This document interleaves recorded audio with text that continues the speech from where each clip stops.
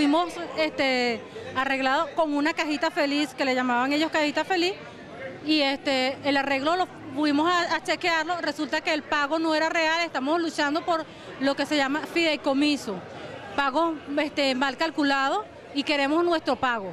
El Banco Provincial, que el arreglo que ellos dieron era lo justo y resulta que no era en realidad el pago real. Yo duré 10 años trabajando en el Banco Provincial, en lo que era la filial PIDA Provincial y luego pasamos a hacer BBV.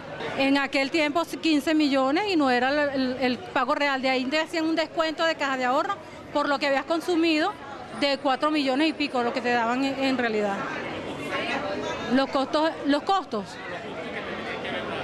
lo justo eran 36 millones. La cual cuando me arreglaron, me arreglaron como, ellos, como ellos quisieron. Estamos aquí todos reunidos por la lucha reclamando nuestros derechos para que nos cancelen nuestros fideicomisos y todos los que nos adeudan y, que nos, calculen nuestras prestaciones como es debido y que nos paguen, que nos cancelen. El señor ministro, le pido al señor ministro en nombre de todos mis compañeros que estamos aquí presentes, por favor, que nos cancelen, que nos cancelen nuestro dinero. Somos personas que ya no trabajamos, ya no tenemos ninguna, ningún beneficio en la calle, no tenemos nada. Entonces le pedimos que nos cancelen nuestro dinero, que eso está en el olvido, que eso ellos, estamos peleando eso. Estamos representando una masa de aproximadamente unas 10 mil personas que trabajamos cualquier cantidad de años eh, representando nuestros mejores servicios y los mejores años de vida a esa organización.